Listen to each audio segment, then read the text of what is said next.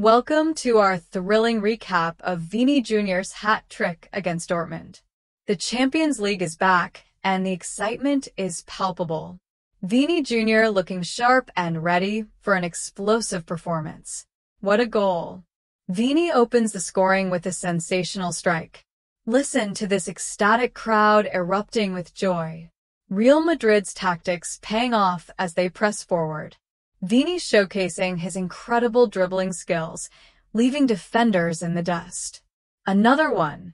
Vini doubles the lead with an unstoppable shot. Dortmund scrambling to respond, but Real Madrid is relentless. At halftime, Madrid leads, but the second half promises more drama. Vini Jr. motivating his teammates for the second half. And there it is. Vini Jr. completes his hat trick. Check out the reactions from the bench. Pure elation. Dortmund looks frustrated, struggling to find their rhythm. And that's it. Real Madrid secures a spectacular victory. Let's hear what Vini Jr. and the coach have to say post-match. Incredible stats from Vini.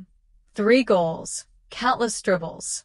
Real Madrid fans celebrating a memorable night at the Bernabeu. This victory has major implications for the Champions League standings.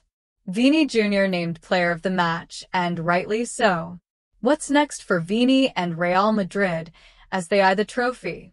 This match adds to the legacy of great performances in Champions League history. Social media is buzzing with fans celebrating Vini's brilliance. A deep dive into Ancelotti's effective game plan for this match. Thanks for joining us. Subscribe for more exciting soccer content.